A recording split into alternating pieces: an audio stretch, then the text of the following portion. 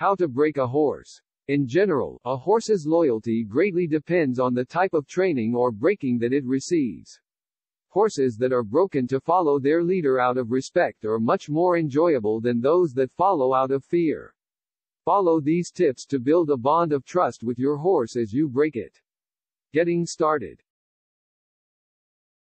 Gain the trust of your horse. Having a personal relationship with your horse is imperative in building trust with it, leading to training later on. Spend time with your horse every day, starting with just being near it and grooming it. Grooming helps connect you with the horse and forms a bond between the two of you. Work around your horse in the pasture, giving it time to build confidence in you. Talk to your horse and be a solid, calm leader for it. Horses are prey animals, so they are always on high alert. They are aware of all changes and will be startled by sudden movement. If you have a foal or horse younger than 4 or 5 years old, don't worry about riding and focus on building trust and confidence through simple leading and grooming. You should spend a significant amount of time gaining the horse's trust before starting to train it. Do this even if the horse is already broken, but it is new to you.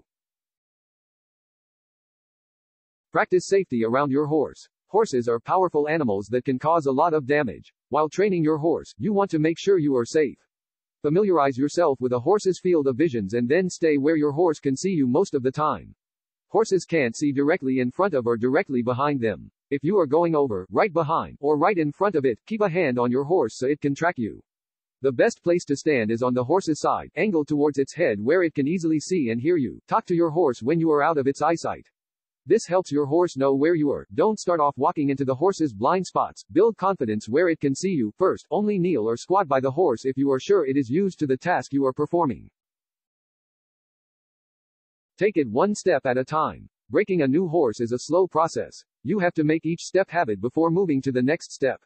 When training, each new concept you introduce needs to build off what you have just taught your horse.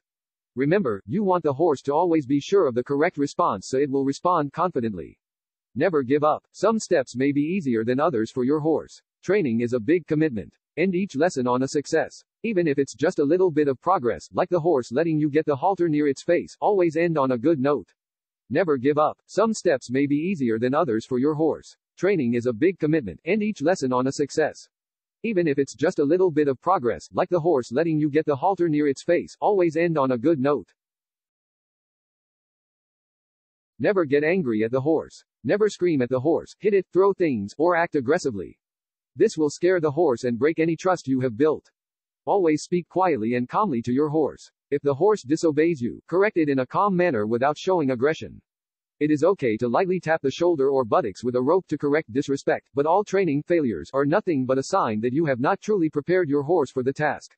You may have to give your horse firm reinforcement of tasks if you have lost some control. Do backing up exercises to reassert your dominance without using violent means. If the horse disobeys you, correct it in a calm manner without showing aggression. It is okay to lightly tap the shoulder or buttocks with a rope to correct disrespect, but all training failures are nothing but a sign that you have not truly prepared your horse for the task. You may have to give your horse firm reinforcement of tasks if you have lost some control. Do backing up exercises to reassert your dominance without using violent means.